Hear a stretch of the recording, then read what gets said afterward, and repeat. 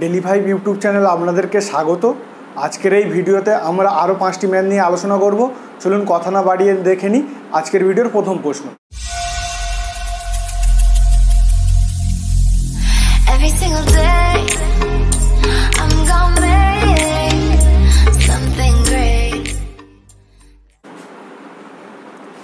বন্ধুরা প্রথম প্রশ্নে যেটি বলা রয়েছে এক অসৎ ব্যবসায়ী একটি দ্রব্য এক কেজির পরিবর্তে নশো গ্রাম দেয় এবং ক্রয় মূল্যের ওপরে কুড়ি পার্সেন্ট লাভে দ্রব্যটি বিক্রি করে করে, তখন প্রকৃত লাভ বা ক্ষতির হার কত? বন্ধুরা কি বলেছে?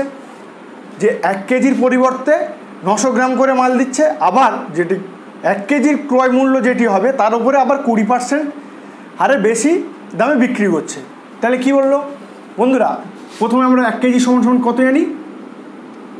এক কেজি সমান সমান হাজার গ্রাম। ধরে নিই, হাজার গ্রামের ক্রয় মূল্য হাজার এক্স ও বিক্রয় মূল্য কুড়ি পার্সেন্ট বেশি, অর্থাৎ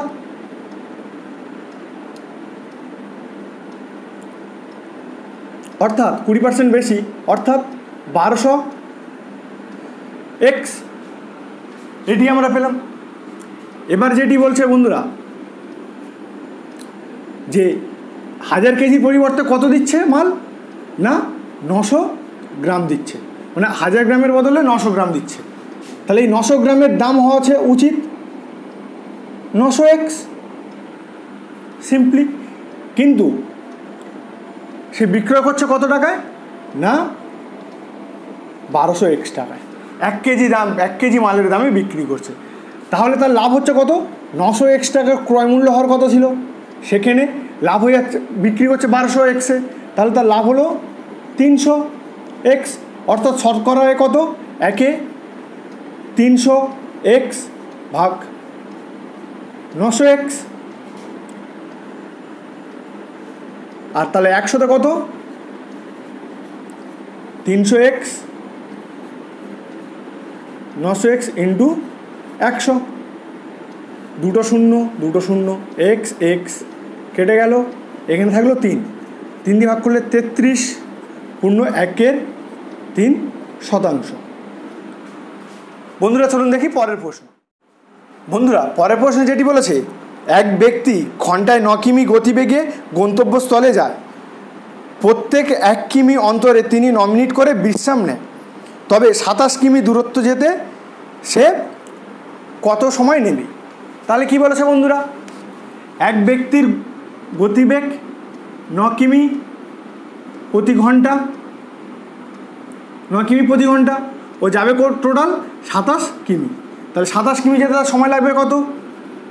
সাতাশ ভাগ নয় সমান সমান তিন ঘণ্টা। আর দ্বিতীয় যে শর্ত বলেছে, সেই শর্ত অনুযায়ী কী বলেছে? সে প্রত্যেক এক ঘণ্টা পরে পরে সে বিশ্রাম নেবে। তাহলে কী হলো? প্রথমে একবার যাওয়ার পরে একবার বিশ্রাম নিল। দু কিমি যাওয়ার পর দুবার। তিন কিমি যাওয়ার পরে তিনবার। তাহলে এইরকমভাবে সাতাশতম বার যখন যাবে, তখন সাতাশতম বারে কিন্তু আর বিশ্রাম নিতে হবে না। কারণ সাতাশতম বারে সাতাশ কিমি পড়ছে, সাতাশ কিমিতে তার গন্তব্যস্থল পৌঁছে যাবে। অর্থাৎ যত কিমি যাবে, তার ঠিক এক কিমি একবার কম বিরতি নেবে বা বিশ্রাম নেবে। তাহলে কত হলো? সাতাশ বিয়োগ এক, সে বিশ্রাম নিচ্ছে কতবার? না, ছাব্বিশ বার। আর প্রত্যেক বিশ্রামে সে সময় নিচ্ছে ন ন মিনিট করে। তাহলে ছাব্বিশ গুণ নয়। তাহলে কী দাঁড়াল? ছলং চুয়ান্নর চার। নয় দুগুণে আঠেরো, পাঁচে তেইশ। এত মিনিট? আমরা ন মিনিট হিসেবে গুণ করেছিলাম এটা মিনিট আসছে। তাহলে এটাকে যদি ঘন্টায় কনভার্ট করি, তাহলে কী পাবো? একশো আশি, তিন ঘণ্টা, চুয়ান্ন মিনিট। তিন ঘণ্টা চুয়ান্ন মিনিট। এবার আমাদের কী করতে হবে? এটি বিশ্রাম নিল, আর এটি টোটাল যেতে সময় লাগল, তাহলে টোটাল তিন, আর তিনে যোগ করলে ছ ঘণ্টা, এদিকে চুয়ান্ন মিনিট। চুয়ান্ন মিনিট তার সময় লাগবে। ছ ঘণ্টা চুয়ান্ন মিনিট। চলুন দেখি পরের প্রশ্ন। বন্ধুরা, পরের প্রশ্নে যেটি বলেছে, এ ও বি একটি ব্যবসায় ফাইভ ইস টু থ্রি অনুপাতে টাকা বিনিয়োগ করে। যদি মোট লাভের দশ শতাংশ দান করার পর এর লাভ্যাংশ পায় নশো টাকা, তবে মোট লাভ্যাংশ কত? তা বন্ধুরা কি বলেছে? এ ও বি তাদের মূলধনের অনুপাত কত বলেছে? ফাইভ ইস টু থ্রি অর্থাৎ বন্ধুরা টোটাল যদি আট ভাগ হয়, পাঁচ আর তিনে যোগ করলে আট হয়। এই আট ভাগের মধ্যে তিন ভাগ টাকা পাঁচ ভাগ টাকা দিচ্ছে এ আর তিন ভাগ টাকা দিচ্ছে বি। অর্থাৎ লাভেরও পাবে, পাঁচ ভাগ টাকা পাবে এ তিন ভাগ টাকা পাবে বি। এবার কি বলেছে? মোট লাভের দশ পার্সেন্ট দান করছে। তাহলে দশ পার্সেন্ট দান করা হয়ে গেলে যে আর বাকি থাকে নব্বই পার্সেন্ট সেই নব্বই পার্সেন্টটা হচ্ছে দুজন মিলে ভাগ করবে। তাহলে টোটাল নব্বই পার্সেন্ট দুজনের মধ্যে ভাগ হবে। কীভাবে পেলাম? একশো পার্সেন্টের মধ্যে দশ পার্সেন্ট দান করে দিল, বাকিটা নব্বই পার্সেন্ট ভাগ হবে। এবার কি বলেছে? যে এ পেয়েছে কত? নশো টাকা। নশো টাকাটা কি? পাঁচ ভাগ। টোটাল আট ভাগের মধ্যে পাঁচ ভাগ। তাহলে এক ভাগ কত? আটশো, নশো বাই পাঁচশো ইন্টু আট। তাহলে এটা কি পেলাম? আট ভাগ পেয়ে গেলাম। যে টোটাল যে লাভটা টোটাল লাভটা পাবো? তাহলে এখানে ভাগ করে দাও। আঠেরো, শূন্য। এবার গুণ করলে আট শূন্য শূন্য আট আটে চৌষট্টি চার, আট একে আট, আর ছয়ে চোদ্দ। তাহলে টোটাল যে লাভটা দুজন মিলে ভাগ করে নিয়েছে সেটি হলো চোদ্দোশো চল্লিশ টাকা। কিন্তু এই টাকাটা পুরোপুরি একশো শতাংশ নয়, কারণ নব্বই শতাংশ টাকা তারা ভাগ করে নিয়েছিল। তাহলে এটি যদি নব্বই শতাংশ হয়, তাহলে এক শতাংশ কত? কীভাবে পাবো? এটিকে নব্বই দিয়ে ভাগ করলাম। তাহলে এবারে একশো শতাংশ পেতে গেলে আমাদের কী করতে হবে? একশো শূন্য শূন্য। নয় এককে নয় আর থাকে পাঁচ আর চার চুয়ান্ন, ছলং চুয়ান্ন। ষোলো গুণ একশো, ষোলোশো টাকা। অর্থাৎ মোট লাভ্যাংশ ষোলোশো টাকা। চলুন দেখি পরের প্রশ্ন। বন্ধুরা, পরের প্রশ্নে যেটি বলেছে, পিতার বয়স যখন প্রথম পুত্রের বয়সের ছগুণ ছিল, তখন দ্বিতীয় পুত্রের জন্ম হয়। পঁচিশ বছর পর পিতার বয়স দুই পুত্রের বয়সের সমান হলে দুই ভাইয়ের বয়সের পার্থক্য কত? বন্ধুরা কি বলেছে? প্রথম পুত্রের বয়স যখন এক্স ছিল, তখন পিতার বয়স কত? না? ছগুণ। ছগুণ। আর ঠিক সেই সময় দ্বিতীয় পুত্রের জন্ম হয়। তাহলে দ্বিতীয় পুত্রের সেই সময়ের বয়স কত ছিল? শূন্য। এবার আমাদের প্রশ্নে কি বলেছে? যে দুই ভাইয়ের মধ্যে বয়সের পার্থক্য। প্রথম ভাইয়ের বয়স এক্স দ্বিতীয় ভাইয়ের বয়স শূন্য মাইনাস শূন্য। তাহলে কি পেলাম? এক্স দুই ভাইয়ের মধ্যে বয়সের পার্থক্য এক্স তাহলে আমরা যদি এক্সের মান বের করতে পারি, সেটাই আমাদের অ্যান্সার তাহলে এবার দেখুন, পঁচিশ বছর পরে দ্বিতীয় পুত্রের বয়স কত হবে? পঁচিশ। প্রথম পুত্রের বয়স কত হবে? এক্স প্লাস পঁচিশ। ও পিতার বয়স কত হবে? না সিক্স এক্স প্লাস পঁচিশ। এবার এখন যে শর্ত বলেছে, কি বলেছে? না দুই ভাইয়ের বয়স এখন পিতার বয়সের সমান। তাহলে অর্থাৎ সমীকরণ পেয়ে গেলাম আমরা।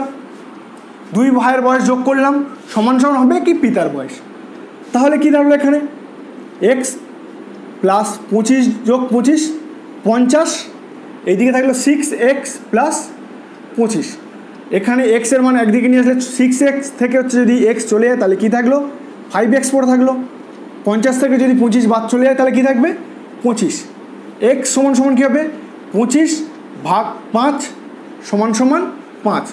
অর্থাৎ দুই ভাইয়ের বয়সের পার্থক্য পাঁচ বছর। চলুন দেখি পরের প্রশ্ন।